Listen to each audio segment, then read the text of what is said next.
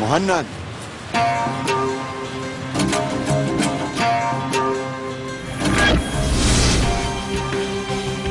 الحمد لله على السلامة حط عقلك براسك ولا بقى ترجع لهون ماشي؟ على راسي اجا وقت الوداع يا اخ سيف سامحني على شو؟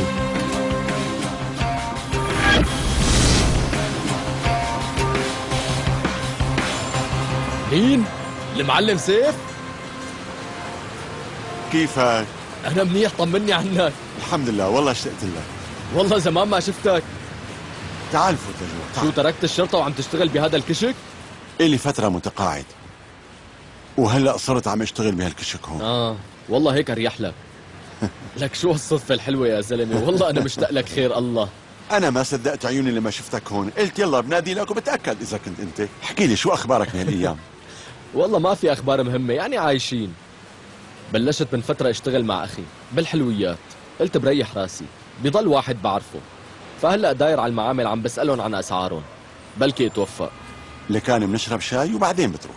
إيه بنشرب كلك ذوق سيف. يا ولد جيب لنا شاي. جوعان شي؟ إذا بدك عنا سندويش لا يسلموا ايديك شبعان. كيف معدتك؟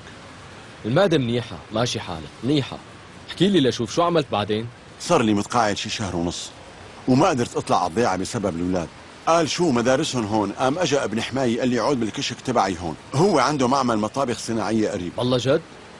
انت بتعرف انه أنا عم دور على هيك واحد؟ بالله أخي كلفني أعمل له المطابخ والستاندات وبده إياهم يجهزوا بسرعة. شفت معملين بس بصراحة أسعارهم لهلأ ما عجبوني. هلأ بنروح لعنده أنا وياك وبحكي لك معه. على راسي. كون كتير ممنونك. وبقول له إنك رفيقي مشان يعمل لك سكرة. مو عرفان كيف بدي أتشكرك. والله أنت من يوم يومك مفضل. أحلى سيف والله يسلموا كتير.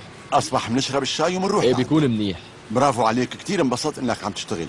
بس قل لي أنتوا شو شغلكم بالضبط؟ يعني شلون بدي أشرح لك؟ مأكولات أجنبية وأخي أخذ رخصة صناعتهم وتسويقهم هون كمان.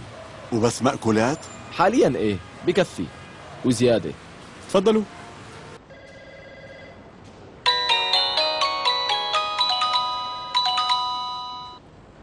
أهلين مهند. هات لشوف قديش حاطط ميزانية لتعمل الستاندات أخوك رح يعمل لك إياهم بنص القيمة مشان تعرف. نفس النوع مو هيك؟ إيه نفس النوع. لا تأكل هم النوعية شفت الشغل. لقيت معلم ممتاز وقلت له شو بدي. معلم ولا كل المعلمين. أول ما ورجيته الرسمات عرف علي شو بدي بالضبط. والله باينته هالشيف فهمان وبيفيدنا حتى كمان بيقدر يسلمنا الطلبية بوقت مو متأخر. لا تأكل هم الوقت. مهند إذا عم تقلي إنه أسعاره رخيصة خايف يكون شغله مو أصلي ها؟ لا لا لا تخاف. أنا هون شفت شغله. من وين بتعرفه؟ تعرف علاقاتي كتير واسعة. طيب مين هو؟ يا أخي مين ما كان يكون؟ أنت قل لي بدك العنب ولا بدك تخانق الناطور؟ فكر بالمصاري اللي رح توفرهم يلا. بلا طول سيرة حميل حالك وتعال هون بسرعة. هلا مشغول. بس خلص شغلي بجيب أنا وبيجي بنشوفهم. يا ابني تعال خلينا ندق الحديد وهو حامي. ماشي لما بخلص بجي لعندك. براحتك أنا موجود هون لما تفضى اتصل فيي. ماشي مهند يسلموا. لك شو ولا خان أجدى. لو سمحت كاسة تانية. أخي اليوم رح يجي. مبروك. آية الله الرجل إن شاء يبارك فيك والله ما قصرت. لا تواخذيني بس لازم أبعت هذا الإيميل ضروري.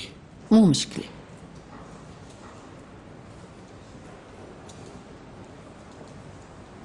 تمام. كأنك تعبان شوي؟ ابدا. كثير مرتاح. يمكن مو ملاحظ على حالك. مالك بكل نشاطك وعم تعصب كمان. هيك بيصير الواحد لما بيكون تعبان؟ لا مو تعبان. معناها في سبب تاني لأنك كنت معصب اليوم. بصراحة إذا متضايق بخصوص الشغل لازم تقلي. لأنه كل شي بيصير بالشركة أنا لازم أعرف فيه. أما إذا الموضوع خاص فبتمنى ما تخليه يأثر على شغلك. صدقيني إنه ما في شيء حديثك اليوم الصبح مع بدر كان انفعالي وتجاوزته الحدود. هلا إذا دفعت عن نفسي بكون تجاوزت حدودي؟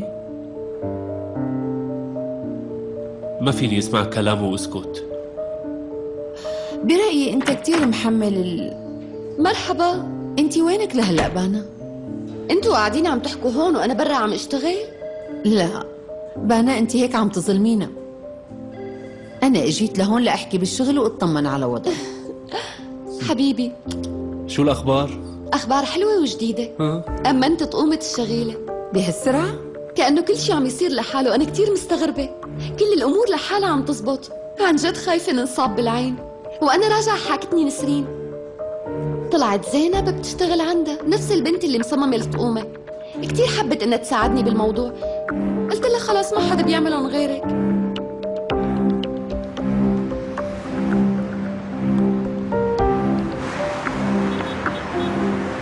خلص وصينا عليهم وكل شيء تمام. عن جد يعني مشي حالهم بنص سعرهم؟ لك إيه طبعا مش الحال. طيب كيف هيك؟ حساباتنا طلعت غلط. ليش رخاص هيك؟ لأنه ببساطة مهند حط إيده بالموضوع. مهند ملاقي واحد بيعرفه وقدم له سعر خاص كتير. كيف يعني خاص؟ رح يشتغلهم ببلاش؟ علي صوتك يا بانا شوي. في عالم عندي هون لازم يسمعوا هالحكي منيح ليعرفوا قيمتي. برافو يا مهند. زني كمان شو؟ مو بس هيك يا بانا خانم. رح يستعمل أفضل مواد وعطانا تسهيلات بالدفع. قال لي إنه ما بده دفعة أولى وقت نستلمهم ندفع له المبلغ. وشرحت له للزلمة كل شيء بدنا إياه بالتفصيل الممل. قال لي رح يكون مثل ما بدكم بالضبط وبحكي معك بس يصيروا جاهزين لتجوا تاخذوهم لا تخافي كله رح يكون تمام. معناتها المصاري اللي رح يزيدوا من حق الستاندات رح نستخدمه بالدعاية شو رأيك؟ إيه طبعا. أصلا أنا حكيت مع وكالة الإعلام ورح يجي بكرة الصبح على الساعة 10 على الشركة. بكرة الصبح على عشرة عندي درس بالجامعة. إيه بعرف وأنا عندي كمان. خلص بنحضر الاجتماع بالأول وبعدين بنروح على الجامعة. يا الله منك طيب ماشي. شوفك بكرة. لا تتأخر. خلص لا تاكلي هم. طيب حبيبي بخاطرك. شكرا كثير مهند. ما في داعي للشكر. نزوة قدرت شغلي. لا يا ليش مين ما قدر شغلك؟ يعني اطلع بحالك. ليك مهند أنا تعبان ومالي خلق. أجل لي دلالك لبعدين. بس أنت يعني بحق لك تتدلع لا خليك ماشي مؤيد. رح روح آخذ سمرة من محل كوثر. قال مو حابة ترجع لحالها. الوقت صار متأخر. إيه على راسي. شو بتأمر كمان معلم؟ شبك إذا الموضوع بضايقك نزلني هون. خلص وصلنا لعنده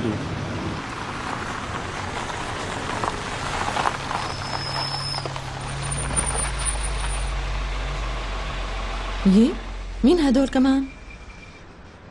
مم. مهند ومؤيد. هي السيارة لمؤيد؟ شكرا كوثر خانم. ونحن طالعين كمان حبيبتي. جميلة روحي طفي الضوء خلينا نروح. مرحبا. موقفي شو عم بتساوي؟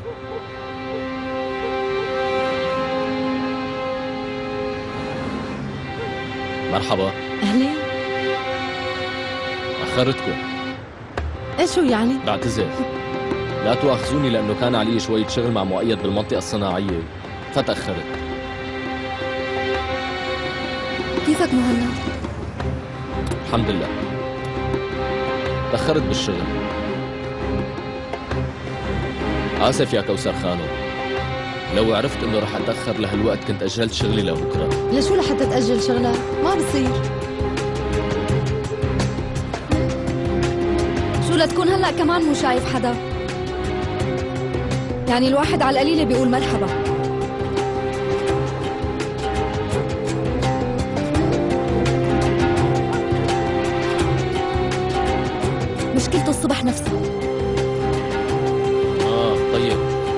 كوثر خانم شو رأيك نوصلكم على البيت؟ أخذناكم كتير. شكرا مهند ما بدنا. يلا تعالوا. مو حلو نروح ونترككم هون. لا بلاها مهند بلا ما تعرف بانا بالموضوع. بعدين بتسمعوا شي كلمة لأخوك. أنا برأيي تهتمي بحالك بيكون أحسن. خوفتني والله مؤيد جميلة. يلا تصبحوا على خير يا جماعة. تلاقي الخير الله معكم.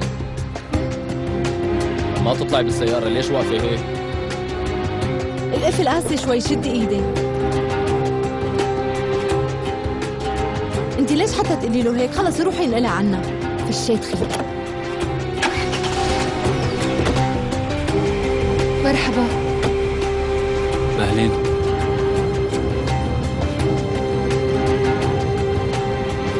لشو قلت لها لجميلة؟ لأنه عم تقول كلام ما له طعم انسى القصة. الموضوع غيري مو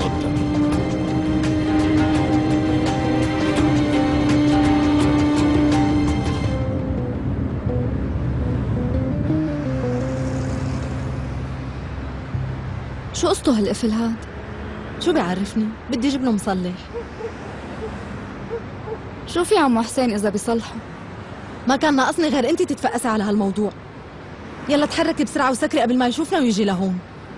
شو بقول حلو ليش مزعوج اليوم؟ أنا ما قدرت حاكيكي قدام البنات. اليوم هي المجنونة اللي اسمها هندا. إجت لهون على المحل وهزت لي بدني. ليش؟ كان في زبونة عندي عرفانة بقصة زواجه لمهند. قامت شافتها راحت وباركت لها وبعد شوي ما شفتها غير جاية لهون وعم تعيط علي قدام العالم. آه بالله